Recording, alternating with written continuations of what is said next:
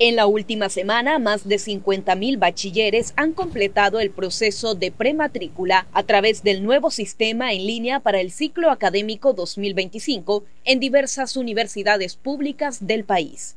Y bueno, hasta el momento tenemos ya más de 50.000 registros.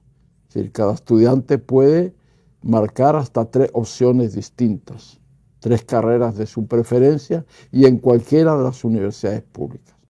Los datos preliminares indican que se ofrecen más de 450 carreras en diversas modalidades y turnos, abarcando áreas de alta demanda como salud, ingeniería y ciencias económicas.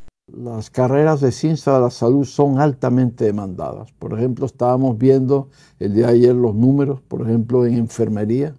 Hay una gran demanda, todo en general las carreras de, eh, de la salud, bioanálisis clínico, las carreras de ciencias económicas, eh, carreras luego en el área de las ciencias sociales como y las humanísticas como la psicología, la psicología altamente demandada, diseño gráfico, las ingenierías, las ingenierías son altamente demandadas.